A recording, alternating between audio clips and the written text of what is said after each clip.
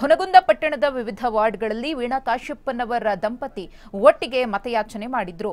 ವೀಣಾಗೆ JDS ಜಿಲ್ಲಾಧ್ಯಕ್ಷೆ SR Navali Hiremath ಸೇರಿದಂತೆ ಕೈ ಮತ್ತು ತೆನೆ ಪಕ್ಷದ ಸಾವಿರಾರು ಕಾರ್ಯಕರ್ತರು ಪ್ರಚಾರದಲ್ಲಿ ಸಾಥನ್ನ ಕೊಟ್ರು. ಇದೇ ವೇಳೆ ಮಾತನಾಡಿದ ವೀಣಾ ಕಾಶ್ಯಪ್ಪನವರ್, ಈ ಬಾರಿ ಮಹಿಳೆಯರಿಗೂ ಒಂದು ಅವಕಾಶ ಕೊಡಿ ಅಂತ ಜನರಲ್ಲಿ ಮನವಿ ಮಾಡಿಕೊಂಡ್ರು.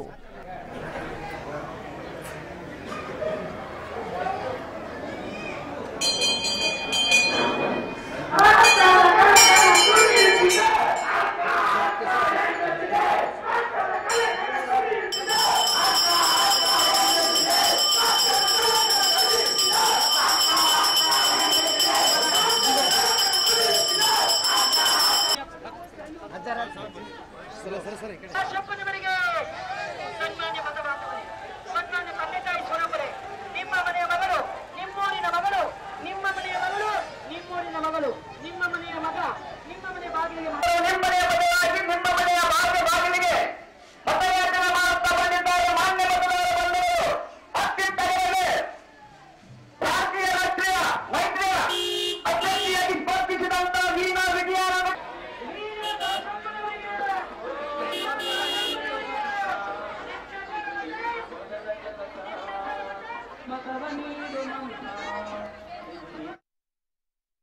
ನಾನು ಜಿಲ್ಲಾ ಪಂಚಾಯತಿ ಅಧ್ಯಕ್ಷರಾದಾಗ ಪ್ರತಿಯೊಬ್ಬ ಜಾತಿ, ಜನಾಂಗ ವರ್ಗದವ್ರಿಗೂ ನನ್ನ ನಮ್ಮ ಜಿಲ್ಲಾ ಪಂಚಾಯತಿ ಬರುವಂಥ ಸೌಲಭ್ಯಗಳನ್ನು ಪ್ರಾಮಾಣಿಕವಾಗಿ ಒದಗಿಸ್ಕೊಟ್ಟಿದ್ದೀನಿ. ಎಲ್ಲ ಜಾತಿ, ಜನಾಂಗ ವರ್ಗದವರು ಇವತ್ತು ನನ್ನನ್ನು ಜಿಲ್ಲೆಯ ಮನಮಗಳು ಅಂತೇಳಿ ಸ್ವೀಕಾರ ಮಾಡಿದ್ದಾರೆ.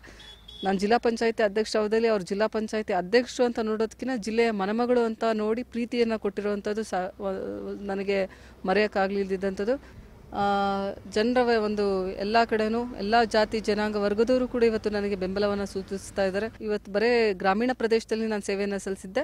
ನಗರ ಹಾಗೂ ಪಟ್ಟಣ ಪ್ರದೇಶದಲ್ಲೂ ನಾನು ಸೇವೆಯನ್ನು ಸಲ್ಲಿಸಬೇಕು, ಏನಾದರೂ ಅಭಿವೃದ್ಧಿ ಮಾಡಬೇಕು, ಬದಲಾವಣೆ ತರಬೇಕು ಅಂತೇಳಿ ನನ್ನ ಒಂದು ಮುಖ್ಯವಾದಂಥ ಉದ್ದೇಶ.